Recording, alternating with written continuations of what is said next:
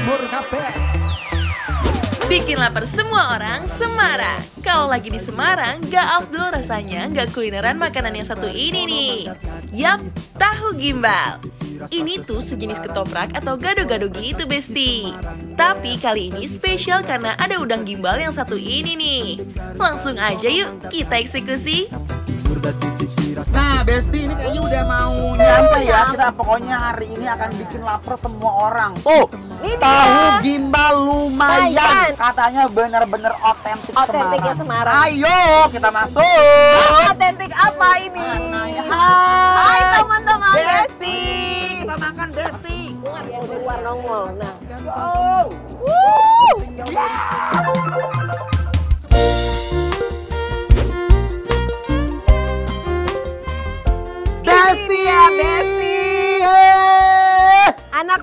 Swiss lagi mau ke Semarang. Oh, kita mau makan tahu gimbal lumayan. Yuk yuk yuk, let's go. Udah di lapar Jalan nih. Pelampitan. Besti, jadi kita sekarang mau nyobain salah satu makanan otentik.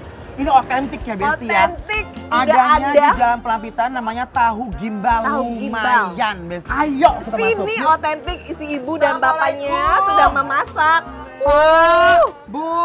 Dan kamu lihat ya Besti, aku tuh terpesona sama tumpukan bakwan udangnya yang rapi. Wow wow terjejer wow. manja ya. Nah, ini dia Besti. tuh. Ya ampun dan bentuknya rapi ya segitiga gini ya. Parah, Bu, boleh pinjam yang ini, Bu? Boleh, Bu. Punten. Kasih ke Inces.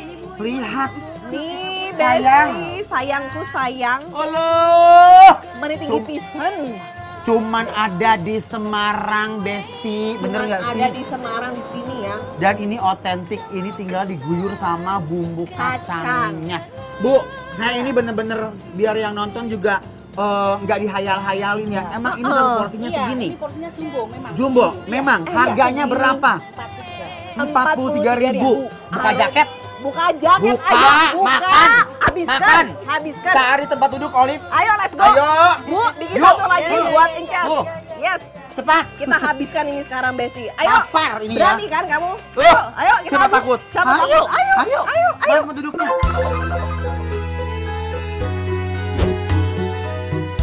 Nah, Besti, buat seporsi tahu gimbalnya, pertama-tama kita landingin potongan lontongnya. Lanjut ada gimbal udang yang udah dipotong-potong. Tahu, kol goreng, dan telur dadar. Nah, untuk bumbu kacangnya, di sini itu ditambahin sama bumbu petisnya ini nih, biar makin endol. Kalau udah diulek-ulek, langsung aja kita sebor semuanya ke atasnya nih. Beuh, ini sih udah memanggil banget buat disantap. Tahu gimbal Semarang. Tahu gimbal Semarang lumayan. Kamu tahu nggak nama udangnya apa?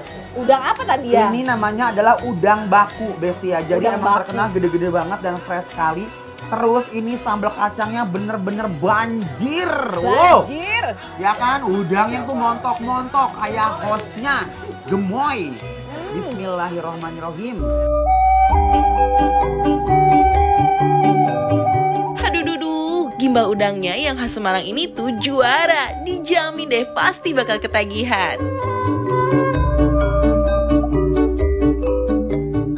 Udangnya tuh seger banget ya. Berasa gurih, manis, terus goreng bawahnya. Aduh, enak banget. Selain itu yang enak ya, aku beneran emes banget ini Emes. sama si sambal kacangnya. Sambal kacangnya ini beda Besti ya, bukan hanya sambal kacang tok, tapi sama mereka itu dipakein petis. Aku mau cobain udangnya ya. Bismillahirrahmanirrahim.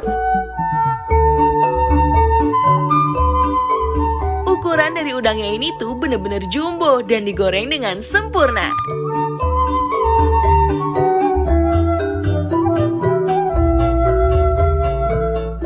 Tapi ini Olive beneran ya, mereka tuh udangnya, jujur Lia, aku tuh seneng banget.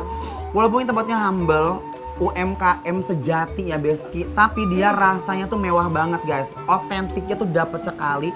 Terus dia tuh punya udang juga fresh banget ditambah sama campuran tepung ya Besti ya nih ya. Lu lihat gede-gede banget dan udangnya tuh manis. Olive, Apa? terus dia tuh di sini ada surprise-nya nih. Dia tuh punya telur. Telur dadar. Tuh, telur dadarnya Besti. Aduh. Nih, aku mau campurin telur sama tahu. Bismillahirrahmanirrahim. Uh, belok kenesen. Seporsi tahu gimbal ini tuh definisi meledak alias puas banget deh Besti. Besti tahu nggak? Telurnya ini enak sekali loh. Sekarang mau nyobain si telur Telurnya. ya, telur dadar.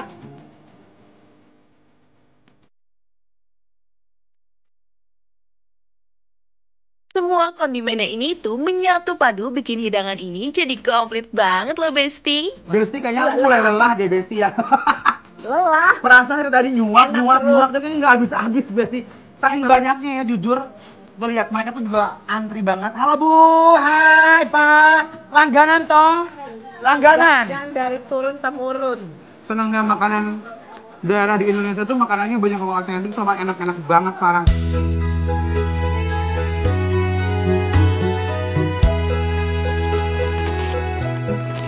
Jus deh Besti, kalau lagi di Semarang wajib banget cobain tahu gimbal ini. Seporsinya tuh bikin perut kenyang, hati senang. Dijamin deh Besti bakal ketagihan dengan keendulannya.